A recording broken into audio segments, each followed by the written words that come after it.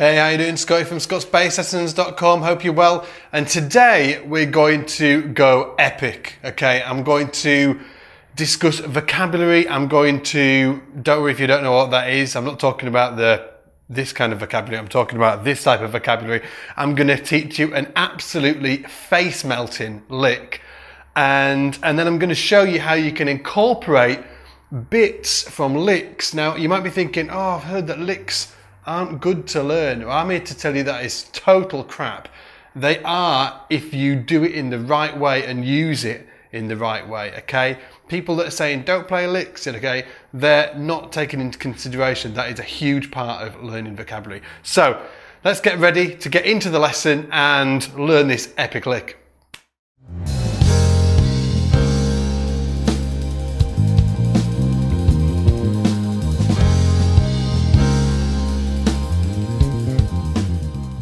Okay, so first of all, I'm going to show you the lick because it, it is very epic. And then I just want to talk about vocabulary a little bit before we start breaking this down. Okay, so the lick is based over a 251 in the key of C major.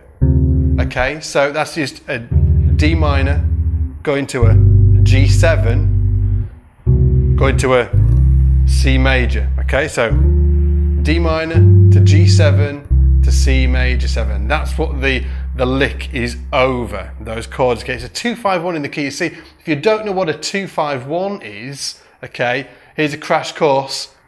Take notes if you don't know. Okay, so every note of the major scale, okay, of any major scale has a chord connected with it.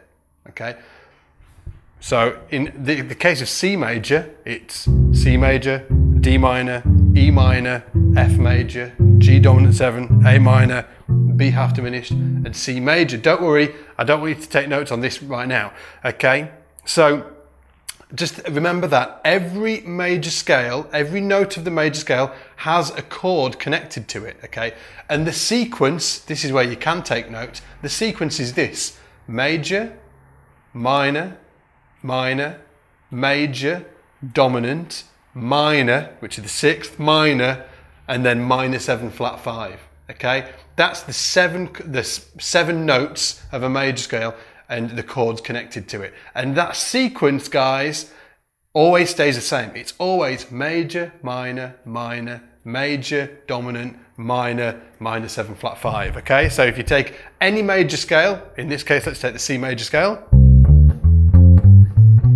and play it up one string like that Mm-hmm. and then connect the chords to it we, and say them major, minor, minor, major, dominant, minor, minor 7 flat 5, and then major.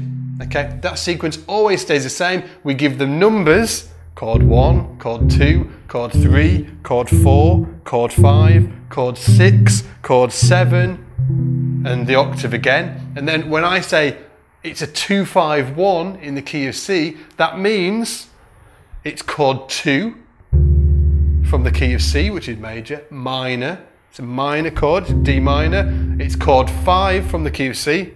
2, 3, 4, 5, which is a dominant chord. So we've got a minor chord going to a dominant chord, G7, and then to the 1 chord which is C major. So that is what a 251 is in the key of C major. Okay, now let's check out the lick. Here's what it goes like. Okay, so over the minor, in fact, I'll just play the lick in its entirety, then we're going to break it down.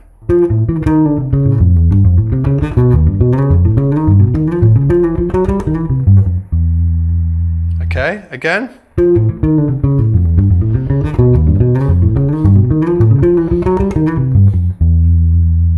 More times. So over the D minor.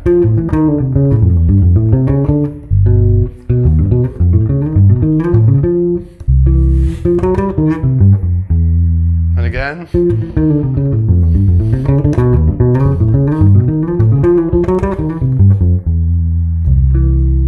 Okay, so that's the lick.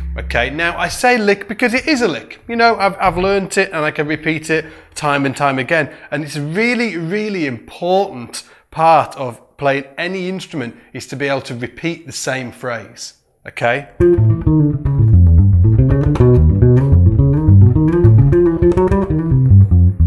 Now, if you're watching this and you're thinking, whoa, that is way too hard for me, that is cool, but I really want you to watch the rest of this tutorial because the stuff that we're covering within it is really applicable to everybody. It's not just people that are using this lick or learning this lick, it's for everybody. You're going to be able to take the concepts that I'm going to talk about in this lesson and take it through into whatever you're working on right now. Okay? So again, just one more time that lick. Oh.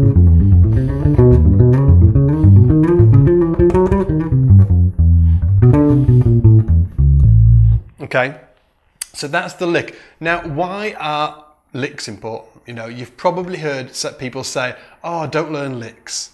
Don't learn licks." Okay, and it really is. Um, it's a bad thing to get into your, you know, into your mind. You shouldn't be thinking about, you know, oh, it's bad to learn licks because it's a really important part of learning any instrument. Now, what I want you to think about, and I, I am going to construct this deconstruct, shall I say, this entire lick down into pieces. Okay, once we've discussed what vocabulary is and why, it's important, we're going to deconstruct this lick, and then I'm going to show you how to steal parts of that lick and use them in different grooves, and that's where the vocabulary and why uh, we're learning licks like this come in. So I'm just going to rewind and just I want to talk a little bit about licks and what they're there for. Okay and, and what how we're learning, you know, why we learn the instrument in the way that we do. So the first thing is that a lick is just a phrase.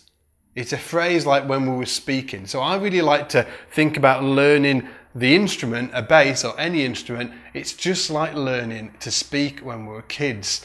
Um, first of all, we learn the sounds, you know, we learn how to make the sounds how to make the sounds clear, how to pronounce the sounds.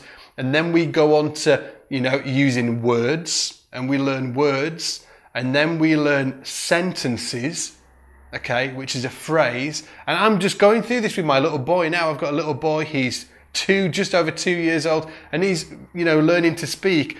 And it's great being able to watch him do this because it's so applicable to what we're doing, learning the bass. It's so, it's exactly the same. First of all, he learns the words you know, toast. You like saying the word toast. Um, and helicopter cop for helicopter. You know, he's nearly there. He's getting it. Helicopter cop. Um, and first of all, he's learning the words, and then he's gonna, and he's just getting into this now, learning to link those words together. And that obviously is a phrase. It's a sentence, right? And that is exactly what a lick is on any instrument. Okay, it's a, a join, joining okay, words to create a phrase, to create a sentence. So when I play, okay, that's just, I'm joining, that's, that's one word you could say, and then could be another word. Joining the words, we're getting the sounds, then we have the words, and then we join the words to create full phrases. Now, my point is when people say, oh, licks are bad, licks are bad, you shouldn't learn them. Well, how can you learn to speak on your instrument without learning any phrases? You know, you're just going to pull it out of thin air, you're just going to hope for the best, and you know, I don't know, I can't even imagine not um, learning licks and then using the licks, and this is the important thing, using the licks that we learn to, to reinforce the vocabulary within our playing and soak up the licks into our vocabulary and then we can use certain parts of the licks and break them up and then it just becomes part of who we are you know on the instrument. Remember whatever your transcribing now. You should be transcribing. You should be learning great bass lines. You know, you become a great bass player by learning great bass lines. You know, you become a great speaker, public speaker by studying people that have, you know, done great public speeches. Uh, same deal on bass. So, or any instrument. So, we study what people have done before us and then we get it into our playing. Certain licks people have played, certain lines. We soak it into our own bass playing, and then it becomes part of our voc- vocabulary. And essentially, if you think about it, you will be a um, a product. You'll be a product in the end of the stuff that you listen to and transcribe. You know, the, the bass lines and things and licks and grooves and riffs that you steal, that will become you as a bass player in the end. You know, you'll be, become a product of that. And that is why, you know, transcribing is super important and and you can control it. You can listen to great stuff. You know, you don't need to just listen to what's on the radio. You can think to yourself, well, I'm going to listen to you know so and so for the rest of the week, and then I'm going to listen to this great album that week, and you can really con- control your influences, which will in in you know in part control your your output as a bass player and what you're going to sound like. So that is why vocabulary is so important, okay? Or, or, learning licks, should I say, because it becomes part of your vocabulary. And as this lesson unfolds, you're going to, you're going to learn a lot more about it. I'm going to show you how you can take a lick and then incorporate it in other things so it does become part of your vocabulary and how to really strengthen that. And that's why if you're just, you know, if you if you listen to that lick and you were like, whoa, way too hard for me, the stuff that I'm going to be talking about is really relevant to you still because it's, it's a technique that you can use with any type of lick, okay?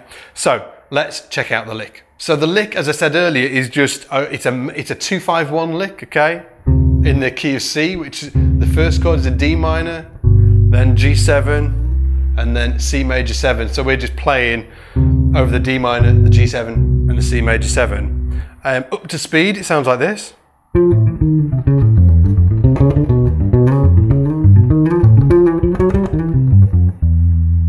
Again.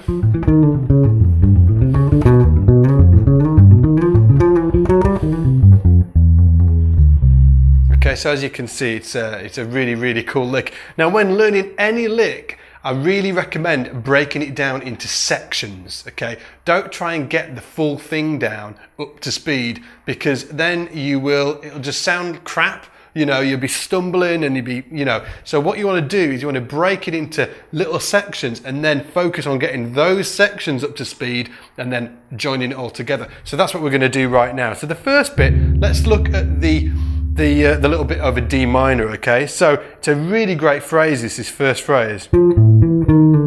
I use that all the time. We're going to be talking about phrasing in a minute. Okay, so it's just, and I should say at this point, uh, if you're an Academy member, you will have the full tab and notation for this directly below the video. Just click it and it'll open in another window so you can see exactly what I'm doing.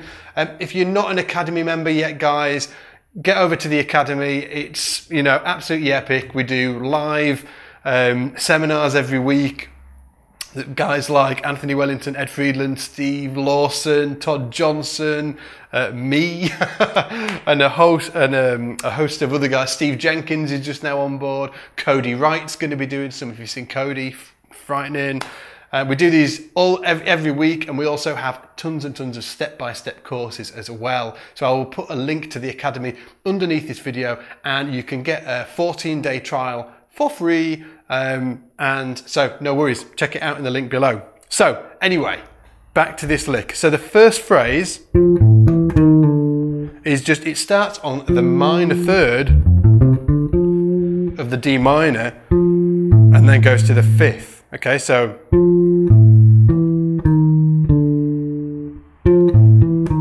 And that's a really standard, you know, bit of vocabulary there again. So.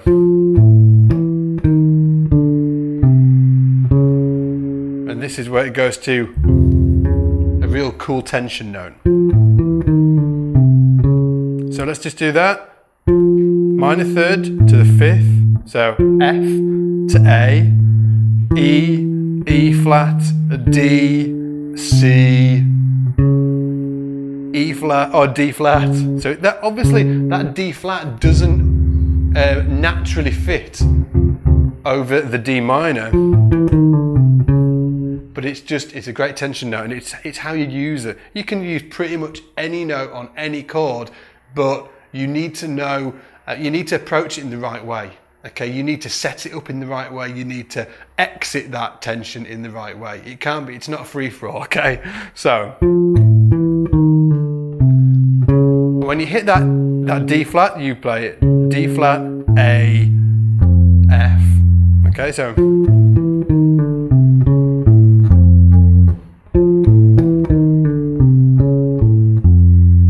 again. Now that is a quite a nice phrase there actually. So what I'd probably do is take that little section and just repeat it, repeat it and repeat it until it feels fluid.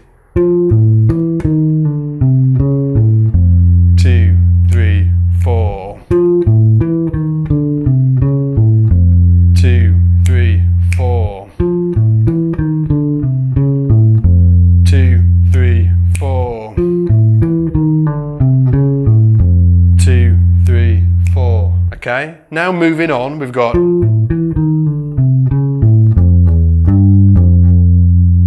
Okay, so so we come down here, this D flat A F, and then we land on the third finger. We slide down to the E, which is the ninth of D, and then to the eleventh, and then to the minor third. So F to E to G to F. Okay, so.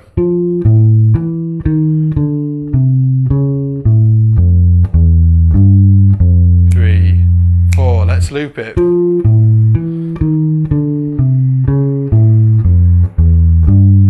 Three, four.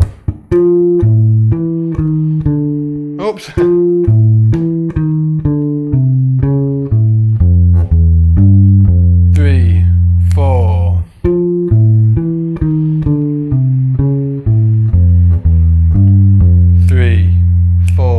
so the next bit,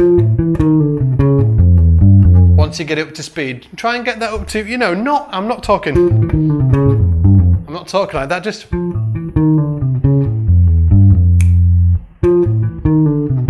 Just a nice flowing speed.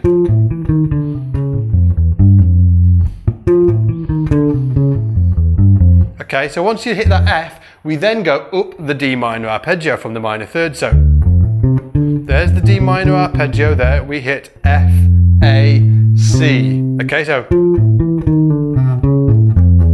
F, A, C, and then D flat again, and then to the D. And that is the that's the entire um, D minor section that we've played there.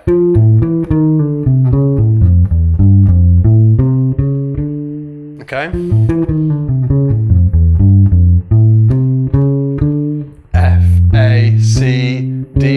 D. Two, three, let's slow it down.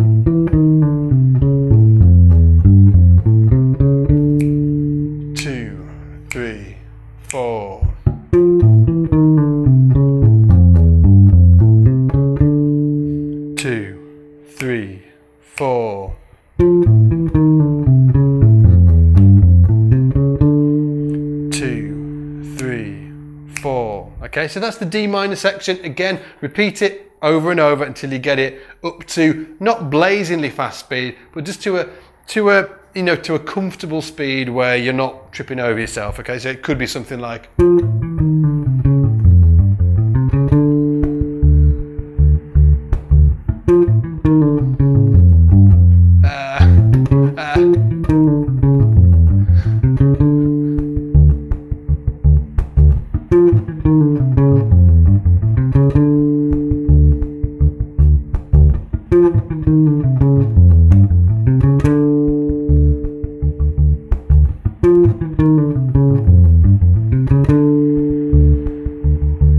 Okay, so the next part.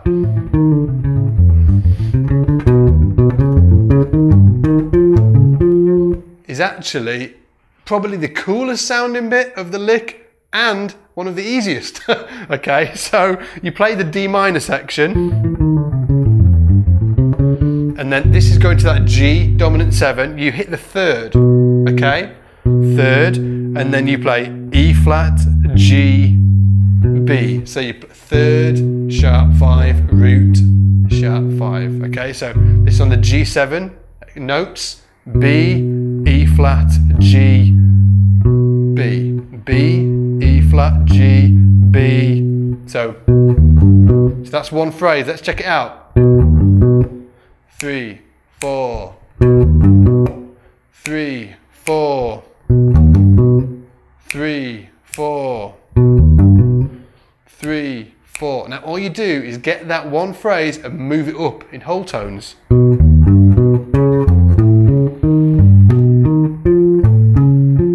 Okay. Now, it's given us some really cool extensions here, um, and this is, I get asked a lot, do I think notes when I play? And I really don't think notes when I play. The only thing I really think about is the root note, and then I apply a pattern to that root note. So in this case, I'm thinking about the G7, there's the G7, and then I know that this pattern is going to give me a really cool out sound, you know, a, a really nice tension because it's got that sharp five in it. And then if I move it up a whole tone, I get the sharp 11, flat 7, and 9. Move it up again, sharp 5. This is all related to G7, sharp 5, root, third, sharp 5, and again, 7, 9, sharp 11, 7, flat 7. So, okay, so let's practice that, those phrases.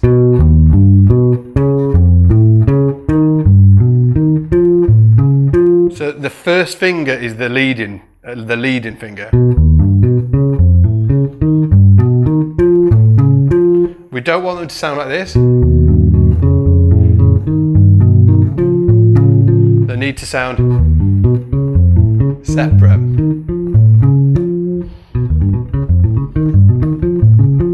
Okay, so let's put that with the D minor part. Here we go.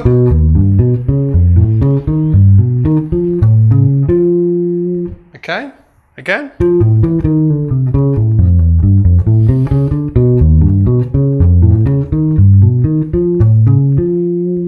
Really slow.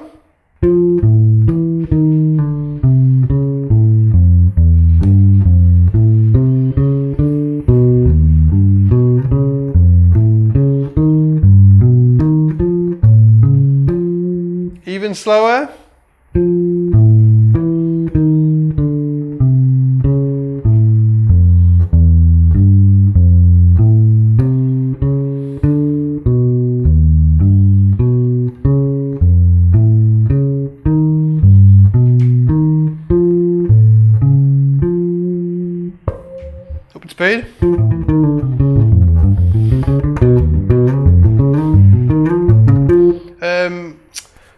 Bass players using that type of thing.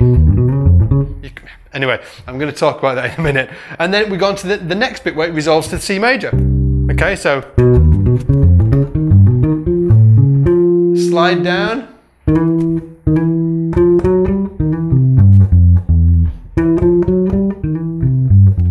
So this is just on the C major. It's third to the fifth chromatically.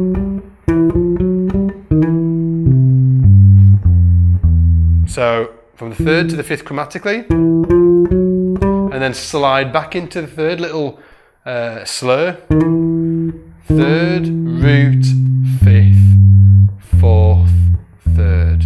Okay. Quite George Benson kind of vibe. In fact, I think I stole that from him. Cheers, George. Is it Joe Pass? Maybe Joe Pass. It's a beautiful sounding phrase, that. I expect a lot of you might. Larry Carlton, maybe? Maybe all those guys have played this lick a thousand times. Okay, so just to re- just to go over that last bit, I'm getting carried carried away there. Third to the fifth chromatically.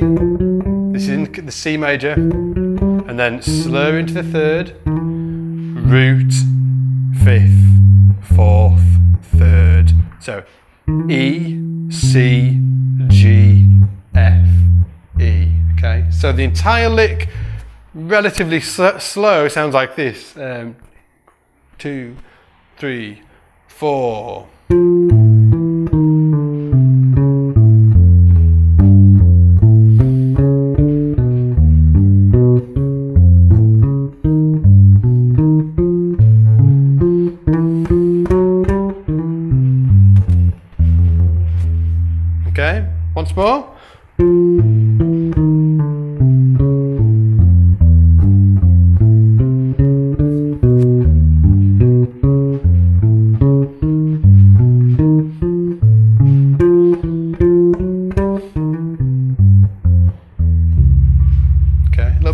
Two, three, four.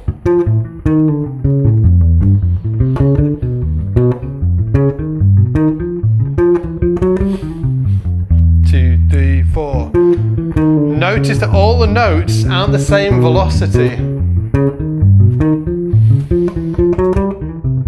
I'm trying to create hills and valleys.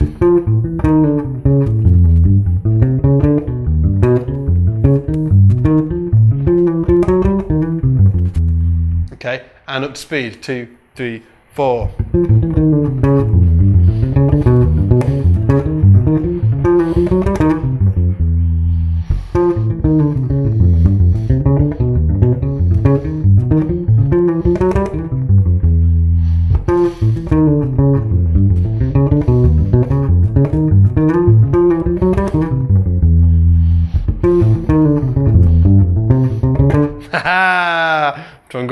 There.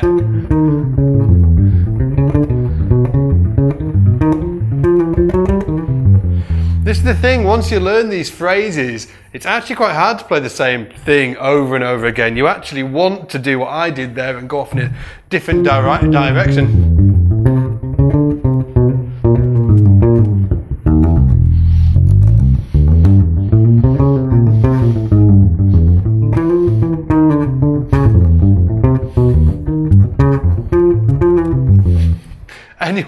Um, back to what we were talking about. Okay, so right at the beginning of this tutorial, I said, you know, we're going to be talking about vocabulary. I'm going to show you how you can take a lick and then reinforce that, use that lick as a reinforcement to your own vocabulary and soak in what you, you know, what you're, what you want to get into your own bass playing, okay?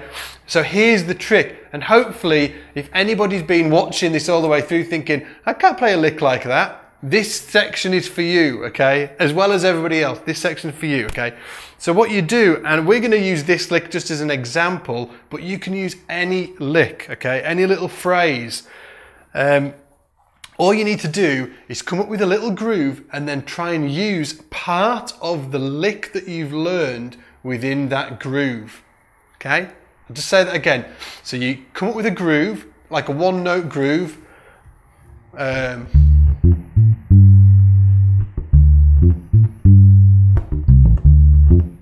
that's not a one note groove, is it? one, two, three, four, four note groove, but you can just go. You know, it can be a one note groove, it can be a four note groove, hey, it can be a nine note groove. Um, but 24 note groove. Um, so you just get a groove, and then what we're going to do is steal bits from the lick that we've learned to reinforce within our uh, to, to get it into our vocabulary. Okay, so let's start off with that little. Okay, and if you remember, I said that's a real common phrase, stock phrase. So then you play your groove and you try insert a little phrase from the, the, the bigger lick. So we're just taking a little tiny bit from the. It's just the beginning of it. Okay, so we. So let's play the D minor groove.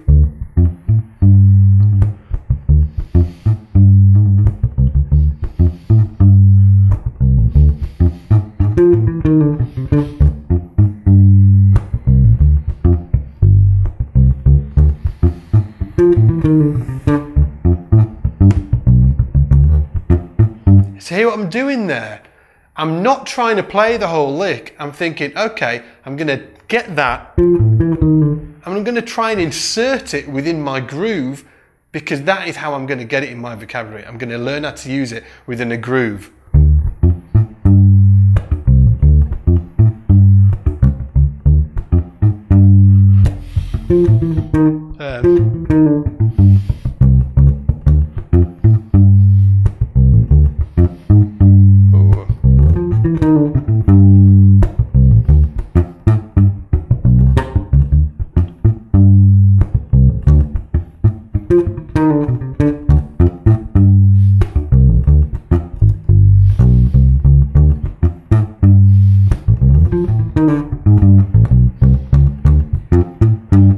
Now you don't have to do it to that speed, it could be a lot slower. And as you can see, I was messing up there, but that's part of it. You know, that is part of it. It's just, you know, you're never going to get it perfect the first time. You're never going to get it perfect the hundredth time. You know, you might get it perfect the thousandth time, hopefully.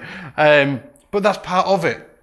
So you just try and get these into that, like for instance, that little groove there, that little phrase into your groove. So.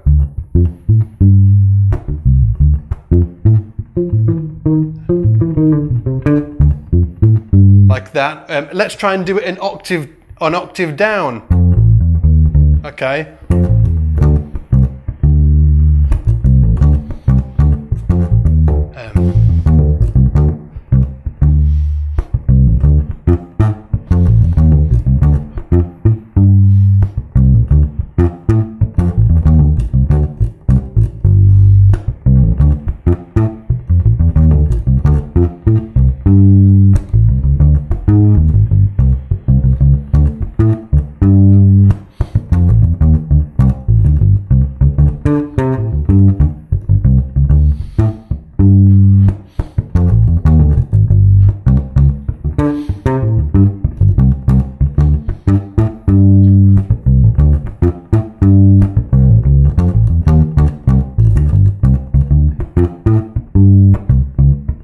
Okay, so I was trying it, and again, I was messing up. I was just experimenting with it. I was doing it over the D minor. Okay, oh. just over this little this little section. Now that was just the first phrase of that lick. What was the next phrase?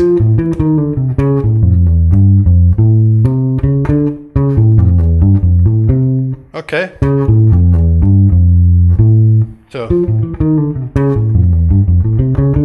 So that was the next phrase.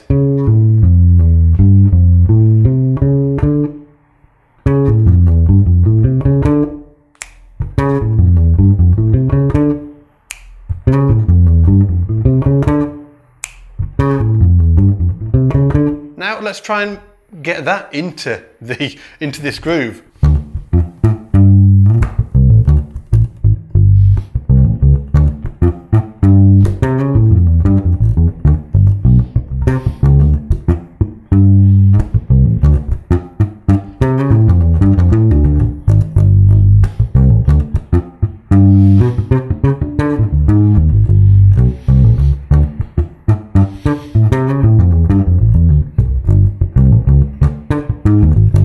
So you could see that was using there. Okay? I was using little parts of it. And again, you know, you can use that on the G7. So that was just the D minor. That was just two examples over a D minor. Let's use it over a G7. So what we did with the G7 is that was that part of the lick, right? So let's see if we can use some of that that kind of th these ideas on a G7 groove.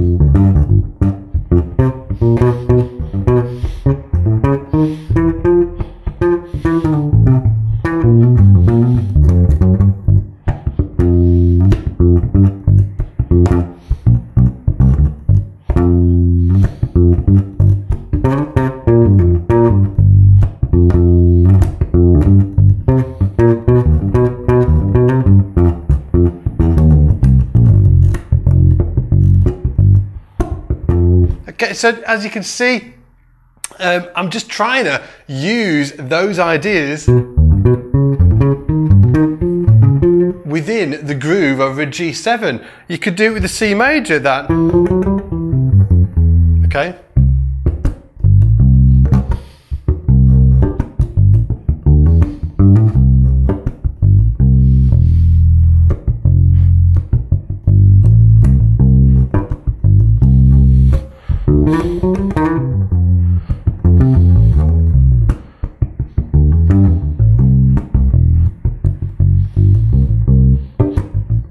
Okay, I'm just again trying to insert it. It doesn't have to be in the same place. Could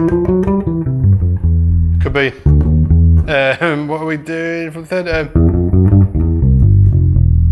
so that would that would work great down here in the uh, when we were playing that groove.